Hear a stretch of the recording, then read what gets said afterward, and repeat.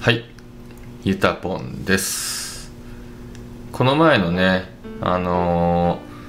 ー、どこだっけ？小倉。小倉のね血管外科はねまあ良かったですよ、まあ、結構ね長く滞在してたんだけどもまあそのうちのね、まあ2日を、まあランチョンセミナーっていうことでね、やらせてもらったんですが、まあやっぱりね、楽しかったですよ。まあいろんなね、人との出会いもあり、うん、なんかね、うん、交流も深められたと思うし、で、やっぱりね、セミナーの反響もね、やっぱりそれなりにね、あったみたいです。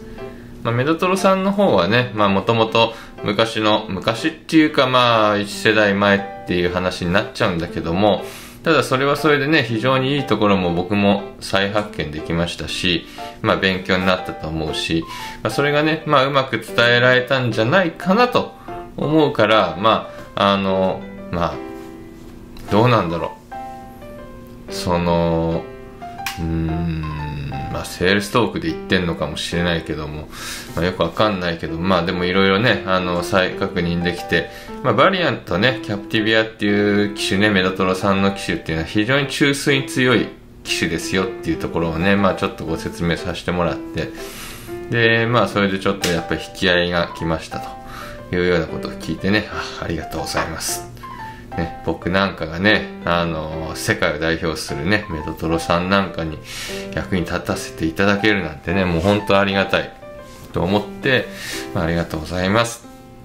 という形でね、終わりましたし、まあ、もう一個ね、テルモさんのね、今度はこっちはね、逆にもう、あの、全く違うデバイスになってくるんでね。まあ、ちょっと専門的なことを言うとね、先端にそのベアステントがついてない構造であるとか、あとはまあ、あの、まあ、剣が細くなってるやつであるとか、まあ、あとはね、デリバリーのシステムもかなりね、考えられたシステムなんで、まあ、いわゆる最新型の、まあ、機種が日本に導入されましたよっていう話でね、その使用実績っていうか、まあ、実際使用してみてどういうところが良かったかなっていうのも含めて、えー、中枢の挙動とか、そういうのを説明させてもらったんだけども、それもね、まあ大反響。まあね、その一番ランチョンで人が入ってたっていうことでね、まあ僕も嬉しく思いますし、まあね、その、これも嘘か誠かわかんないんだけど、まあランチョンのね、後にセミナーの後にブースにもね、やっぱりいっぱい人来てくれて、そのテルモさんのね、ブースに来てくれて、まあその新しい機種をね、触って、いつ使えるのとかね、あのー、ワークショップ早くやってよとかね、せかされましたっていうことでね、本当にありがとうございます。まあそれがね、じゃあ僕の プレゼンのおかげっていうわけじゃないよ。僕のプレゼンのおかげっていうわけでは、そんなね、そんなおこがましいことは言いません。そんなおこがましいことは言わないけども、まあね、その一つのきっかけにでもなってくれてたんじゃないかなってね、ちょっとね、考えてみました。まあ、テルモさんもね、それこそ本当に、あの、まあ、実際のプレゼンでも言ったけどね、まあ、100周年を、去年ね、100周年迎えられたようなね、伝統のある日本のトップの医療機器メーカーがね、やっぱりまあ、もう、社運をかけて導入した、まあ、買収したんだけどね。まあ、TVer の会社を買収したんだけど、まあ、社運をかけて買収した。それでね、売っていこうというね、まデバイスなんでやっぱりそれなりの意気込みを感じましたし、まあ、そこに僕もね1枚かませてもらったっていうことはね本当にありがたいと思ってますまた何か仕事くださいってことでねまあ小倉はね大成功うん小倉の夜も楽しかったよまたね、ちょっと小倉、小倉の夜はでもそんなに撮ってないけどね。まあダイジェスト。ダイジェストにできるほど撮ってないけど、まあ美味しいお寿司屋さんも行ったんでね。まあちょっと、うん、なんか機会があればね、それも今度、この前の熊本のダイジェストみたいにやってみようかなとは思ってます。でね、まあちょっと話は長くなっちゃったんだけども、今回のお話は、まあね、CE さんのお話にしようか。この前ね、看護師さんに、あの、求めるものは何ですか、要求するものは何ですかっていうことで、ICU の看護師さんに特に求めるものっていうことでお話をさせてもらったんだけども、今度はね、まあ、ME さん、C さんの方からね、まあ、C さんに何を求めますかと。どういうね、付き合い方がいいんですかっていうね、話を聞かれたんで、まあ、それについてね、ちょっと答えてみようかなと思います。で、で C さんってね結構ねそのやることが幅広いんですよ。すごい広いの。うん。透析回す人がいたりとかまあそのうんその病棟のねデバイス IABP、まあ、PCPS エクもうんね。であとはまあ CHDF、えー、であとは輸液ポンプの調整とかもう本当にね多岐にまあそういう危機医療危機関連はねもう多岐にわたるし最近はね、まあ、うちもそうなんだけども、手術室 CE って言って、手術室にまあ CE がまあ常駐してて、まあ、ダヴィンチのね、えー、メンテナンスっていうか、まあ、調整というか、ダヴィンチの手術に一緒に手伝って入ったりとか、まあ、僕らのところではね、あの、主にパーフュージョニストとして、まあ、いわゆる人工心肺を回す、ね、人として、えー、入って。で、まあ一緒にね、あの、人工心肺回してるから、まあそれは他のところでどうやってるかわかんないけども、あのー、ステントグラフト。ステントグラフトの、まあ、機械出しっていうわけじゃないけど、まあ、糧出しっていうかな、糧出しをやってもらってたりするんで、まあ、心臓外科としてはね、すごいね、あの、親和性が高いっていうかね、まあ、仲良しっていうかね、うん、むしろ看護師さんよりね、まあ、付き合いは深いかな。だからまあ、そういうところでね、すごい、まあ、幅の広いところではあるんだけども、まあ、僕は、例えば透析専門にやってる C さんとかには、まあ、どうこう言うつもりはないから、まあ、パーフュージョニスト、ね、パーフュージョニストに対して、えー、僕が求めるものっていうことにね、ちょっとお話をしようかな。でね、パーフュージョニストがすることっていうのは、まあもちろんその人工心肺回すわけなんだけども、あのね、まあ、うん、うちのね、パーフュージョニストはね、まあ、若い子がね、今戦闘機ってやってくれてんだけども、あの、すごいね、気が利きます。あの、例えばね、まあ、その、物品何使うだとか、そういうのはね、足りないと、やっぱり手術が滞ってしまうわけよ。だからまあ、その手術を円滑に回すために、まあ、あの、総合的なね、準備、っていうのをいろいろやってくれたりするんだよね。だからまあ、どういう手術があって、それには何が必要で、で、その、しっかり用意するためにはどこに声をかけてとかね、それがなんかトラブった時とかね、まあ、違うのを使うってなった時にどこに、声かけてとかっていうのを、そういうの全てやっぱり把握しとかなきゃいけない。だからまず手術内容を把握するっていうこと。で、それに対する物品を把握するっていうこと。で、えー、それがしっかりとできてないと、やっぱりまずまず、あの、まあね、女房役、まあ女房役っていうとまたね、これもこの前のコメディカルな話かもしれないけど、また、ね、何ですか女房全部あなたの世話をやるんですか？奥さんが全部あなたの世話をしなきゃいけないんですか？ってね、なんかフェミニストに捕まっちゃうかもしんないけども、まあまあまあまあ、ピッチャーとキャッチャーみたいな役割って考えてください。まあ、女房役になってもらわないといけないから。でもまあ僕が甘えてんのかもしんないけどね。僕がふわふわしてるからやってくれるっていうのもあるのかもしれないけど。うんまあだからいいのいいんだよそれは。でもね一生懸命やってくれるから。だからねそういうのきっちりね抑えてくれ。るだからそれは安心して、まあ、手術に臨めるわけ。で、えー、まあそういうこともやってくれる。だからね、手術を知らなきゃいけないし、物品知らなきゃいけないし、そのために何するかっていうと、彼らはね、僕の動画を見るんですよ。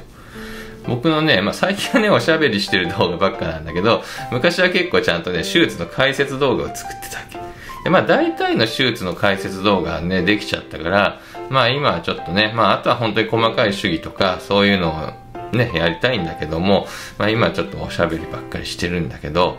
あの、手術動画ね、昔、あの、本当の手術動画の解説動画上げて、今でも残ってるし、あの、再生リストからね、見てくれたらいいと思うけど、それね、結構若い先生も見てたんだけども、意外だったのが C さん、ME さんからね、あのー、お礼のコメントとか、えー、お礼のね、えー、まあ、質問、質問とかお礼とかっていうのはよく受けてる。それね、やっぱりね、C さんってね、あんまりね、その手術に関わることをするんだよね、パーフュージョニストとして。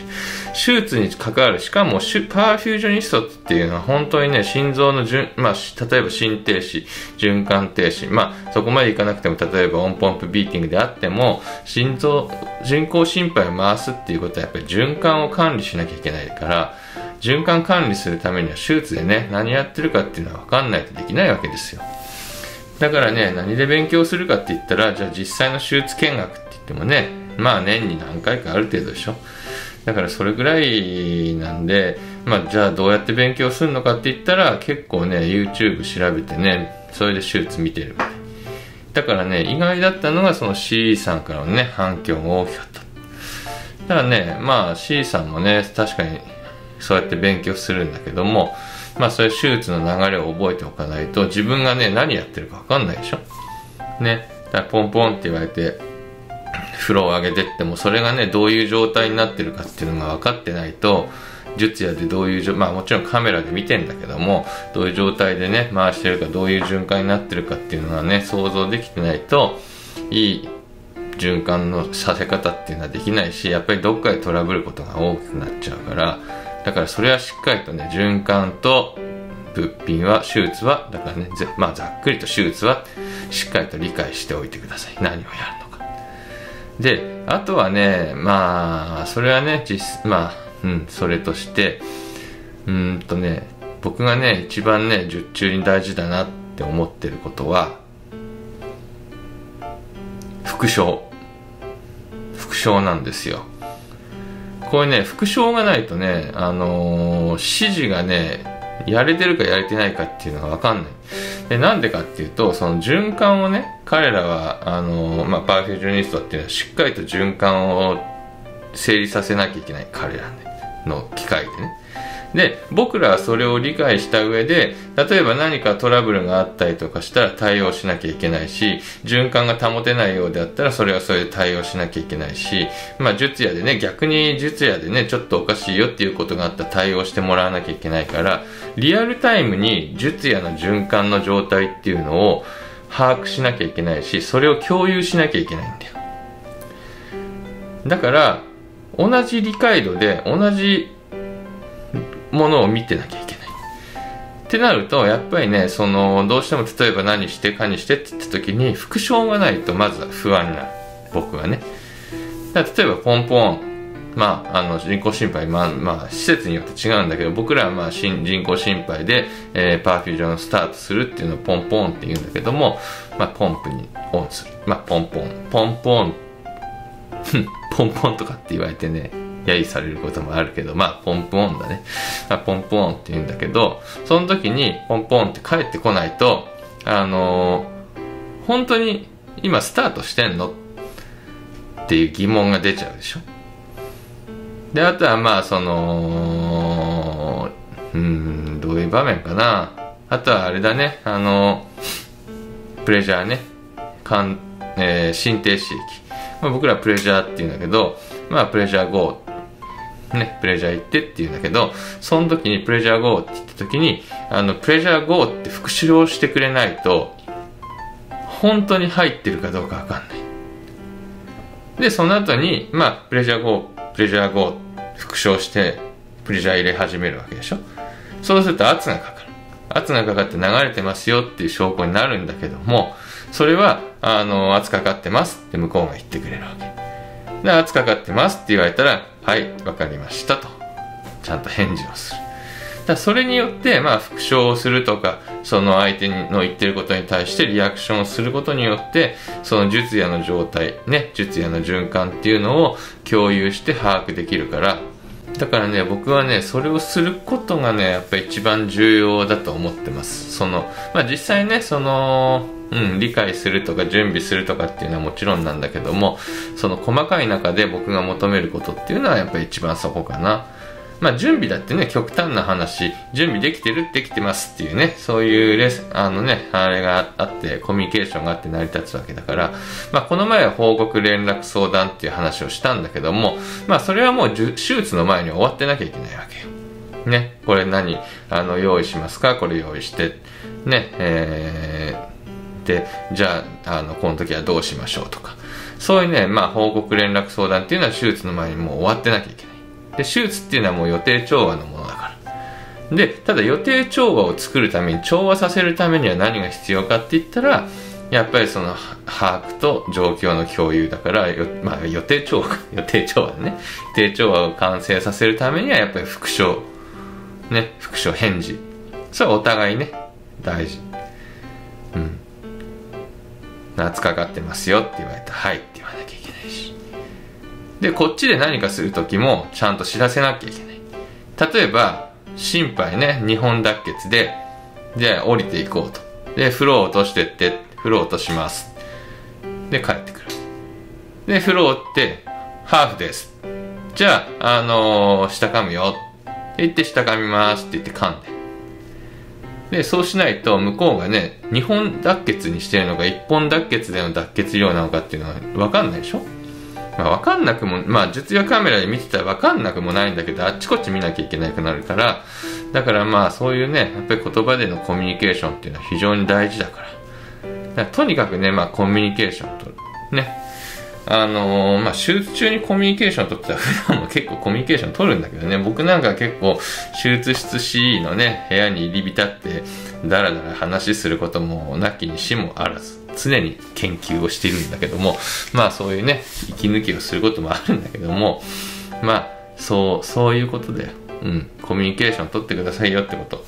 まあ普段からコミュニケーション取れてるから手術でもコミュニケーション取れて取れるのかまあ手術でコミュニケーションを取ってるから普段コミュニケーション取りやすいのか。まあどっちが先かはわかんないけどまあとにかくコミュニケーションを取って術野を共有して循環を把握する。ねこれ僕は一番 CE との関係で大事な部分だと思ってるのでそこのところをね、まあ、それはね、もちろん C さんだけそれ考えてたってダメなんだよね。まあ、心臓外科医っていうか、まあ、術野の方でもそれをちゃんと理解して、お互いがこう、こうし合ってやんないとダメだから、まあ、だからまあ、キャッチボールであるとかね、まあ、野球のね、ピッチャーとキャッチャーとか、また怒られるかもしれないけどね、あのー、ななんつったっけ？あれか、あ女房役か。女房役ね。ね。うん。まあそんな感じかな僕が求めるところはね、まあ、あとはまあ僕に甘えさせてくださいってことかな、うん、まあそんなところでね理解できましたでしょうか。おやおやこれは求めないのとかっていうのがあったらねまたコメントください。それじゃあバイバイ。まあね人に求めるものって聞かれてるから答えてるけどね。逆に言うとなんか医者に求めるものってちょっと聞いてみたいよね。なんか座談会チックなことやってみたくない？うんやってみたくねえか。まあライブとかでねそういうのできたら面白いけどね。なんか人の意見も聞いてみたいよ。なんか一方通行じゃない？それじゃあ